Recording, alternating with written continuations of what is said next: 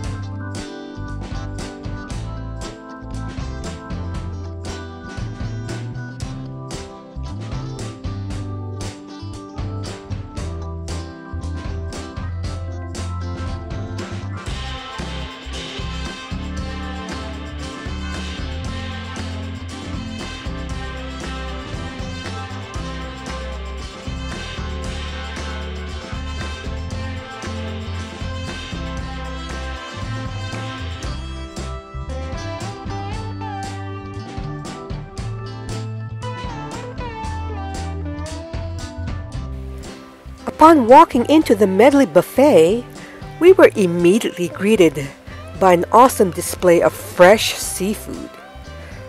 On copper metal bowls, on top of cold ice, there were stacks and stacks of prawns, crab, clams, mussels. This is the paluto section, or made to order seafood entrees. Our eyes feasted on this massive display of seafood, and we could just imagine how we'd like to have our seafood cooked. I think I will order the garlic butter shrimp, like how it's prepared in Hawaii, or stir-fried in spicy gochujang, like in South Korea. Yes, I've been daydreaming for weeks, and now we're finally here. The medley buffet features an open kitchen design where guests can view chefs in their artful food preparation. It has around seven buffet stations that serves both local and international cuisines, such as Japanese, Chinese, Indian, Italian, Korea, and the Philippines. We definitely love the hot ramen. The broth was so flavorful and piping hot it was total food comfort. The dim sum also featured both vegetarian and meat dumplings. Their pizza was surprisingly tasty. There is a meat carving station and Chinese barbecue. There were lots of our favorite Filipino dishes and a wide selection of Indian food as well. But what you'll notice about the Medley Buffet is their dessert station. It is a complete work of art. So be sure you save space in your stomach for their huge selection of breads and desserts. I love their creativity on how they prepare the desserts. So come and enjoy.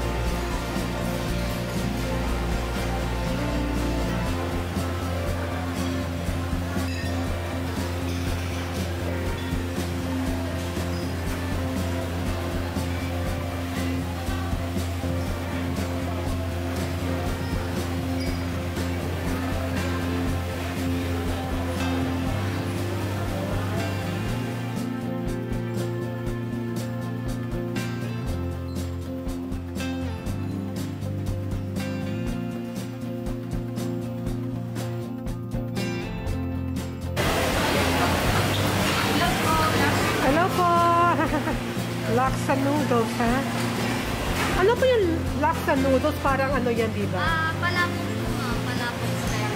Sa palabok? Opo. Ah, Malakot po. malabon. Sige, subukan ko po.